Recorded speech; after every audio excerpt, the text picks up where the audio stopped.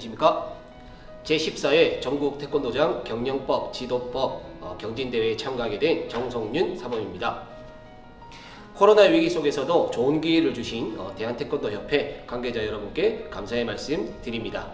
어, 제가 이번 어, 경진대회에 발표할 내용은 어, blended 수업 경영 수업 시작 10분이 어, 수업의 성패를 좌우한다입니다 제가 어릴 때부터 배워온 태권도는 아주 복잡한 기술 체계로 이루어진 무도이자 스포츠입니다. 그러나 이것을 쉽게만 가르칠 것이 아니라 어, 태권도 자체의 흥미를 가지고 재미를 느끼고 어, 수련생이 배울 수 있도록 능동적 학습자를 만드는 warm-up 활동 거기에 포인트를 주고 발표를 하겠습니다. 그러면 어, 저희 어, warm-up 설계법이 궁금하시다면 10월 2일 어, 킨텍스에서 뵙겠습니다. 감사합니다.